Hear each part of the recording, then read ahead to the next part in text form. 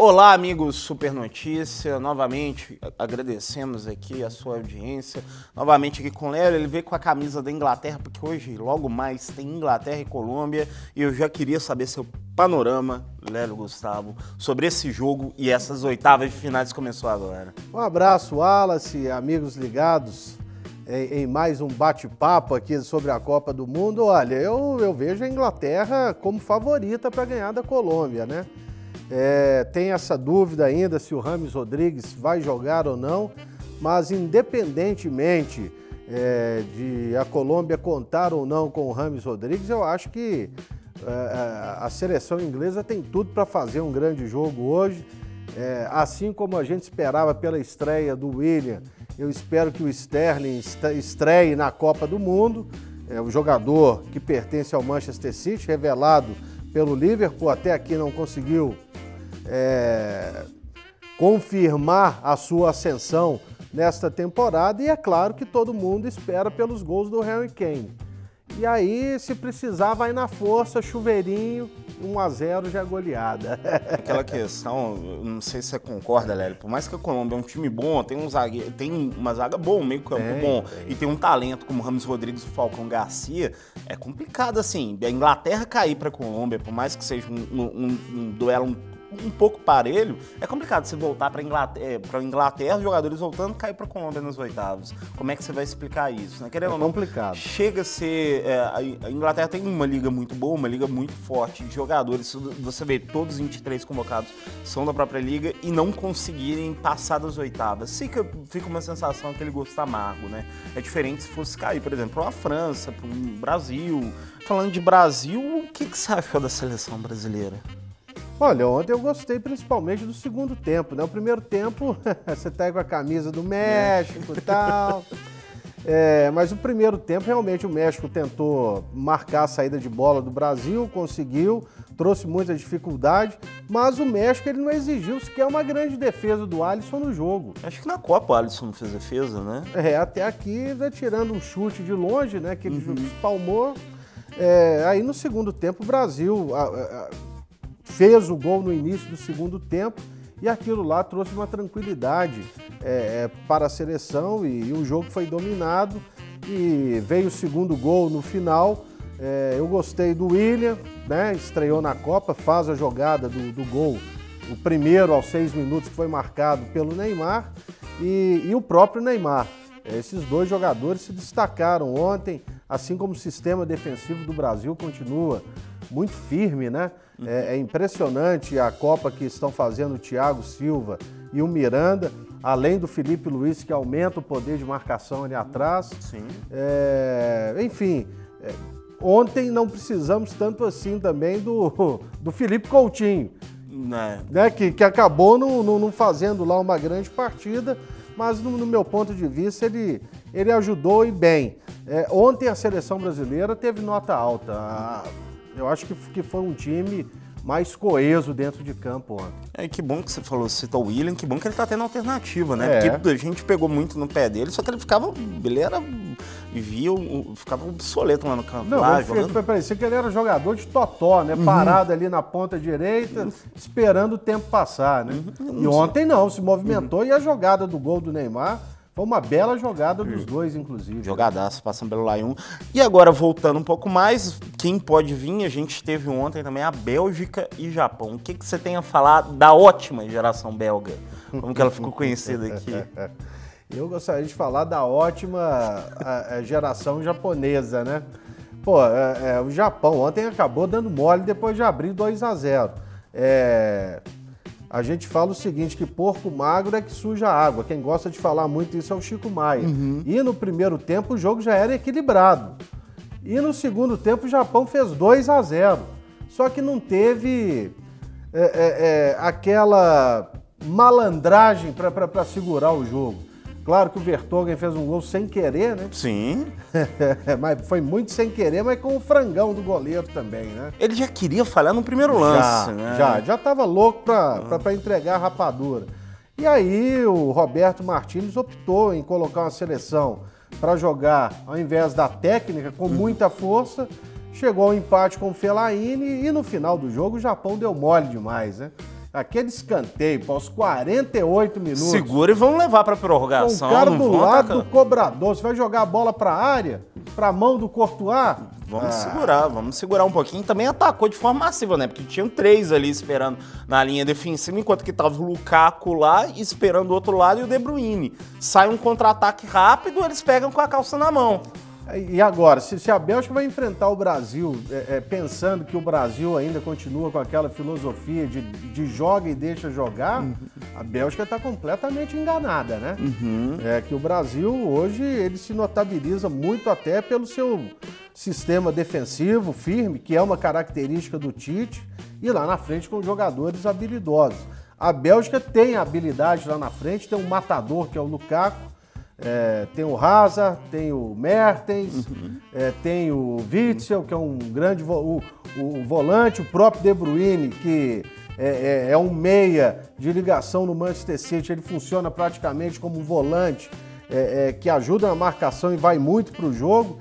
Quer dizer, a, a, a Bélgica tem muita qualidade, mas a defesa não sei não, hein? Não sei não. Não dá pra aguentar. Vertugem é um pouquinho complicado. É, né? ontem, ontem, jogou com três zagueiros, né? Só que ele só jogando 3-4-3, meio estranho, né? Se você é. for vendo com a recomposição do Mertens ali pra esquerda. É verdade, é verdade. 3-4-3, foi, foi. Mas é, é, a Bélgica merece todo o respeito, todo o cuidado. O Brasil sabe que, que se ele fizer o que tem feito até aqui, acho que dificilmente vai é, é, escapar a classificação para a semifinal.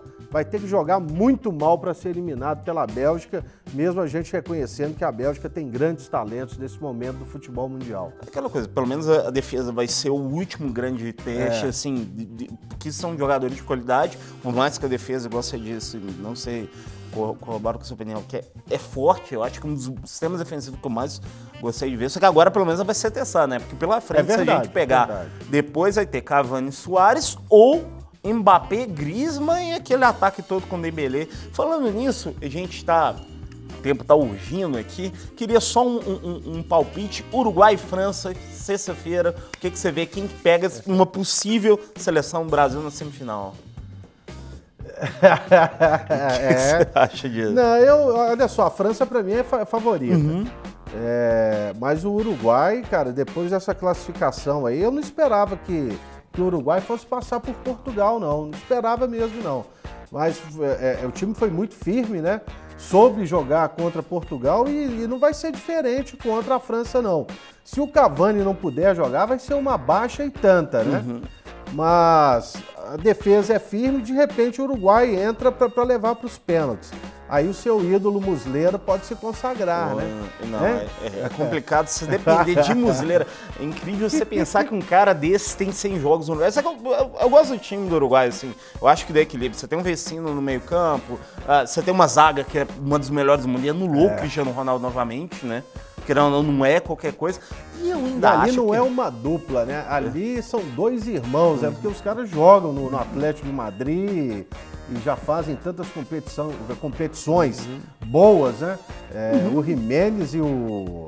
E o Godin. E o Godin, pelo amor de Deus, eles jogam demais. E aí tem um grande detalhe, eu não sei o que, que você pensa, mas por mais que a França seja um, um grande jogo, o Mbappé foi uma coisa de louco, era entrar a faca quente na manteiga ali contra era, a Argentina, né? Era, com certeza. Aqui, é o time todo desorganizado, né? Sim, eu não sei todo se é a sensação. A Argentina ter conseguido fazer 2 a 1 um na França que foi a grande surpresa do jogo. Sim. Porque em nenhum momento ela jogou para fazer 2 a 1 um na França. E o estranho é que toma o segundo... Eu não sei qual foi a sua, a sua, a sua impressão. No momento que a França empata ela virou assim, não foi a França buscando. Não, aí gol, atropelou. Atropelou, atropelou, ela saiu naturalmente. Era uma sensação que dava assim, a gente era algo incomum.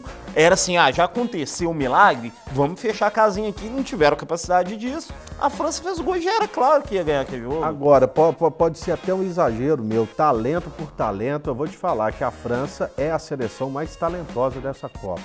Você vai pegar o meio de campo, Kanté, Matuidi, o, o, o, aquele rapaz do Bayern de Munique, Tilissou, né? Como é que é? Nem, nem, nem tô me lembrando o nome dele direito. Que é um volantaço também, é reserva da seleção. Pogba. Olha só, e aí se você vai lá pro ataque, Griezmann, Mbappé e o Dembélé. o, Dembe... o Dembélé eu não gosto muito dele não. Não, eu acho ele bom. Acho eu acho ele um barbantinho de marca maior, mas é um grande jogador também. E, e aí de repente entrou até o Giroud no jogo, né? Uhum. É para jogar com com Griezmann, com com o Mbappé e, e deu uma uma presença de área maior. É, bom, é, é, assim, se o Brasil passar, é bom ele dar uma secada na França aí. Vou porque te... tem todo o histórico contra o Brasil também, né? A gente só ganhar aquela em 58, depois. E olhe lá, nada. depois é bomba na Olimpíada, na Copa do Mundo, em qualquer lugar. Copa das Confederações. Vamos lembrar do Leão nisso. Só vou te fazer uma provocação, que é o que eu, assim, é, posso estar fazendo quer, uma blasfêmia. Né? 98, eu, eu falo o seguinte: essa geração, para mim, é mais talentosa que 98, mas só com cara igual 98. É. Eu acho que a França mais times, a zaga, você tem o Sacco na reserva, você tem o, o Varane no time, o goleiro para mim é muito melhor. Você vai pegar o, o Loris contra o Barthez, uma coisa para mim de outro nível.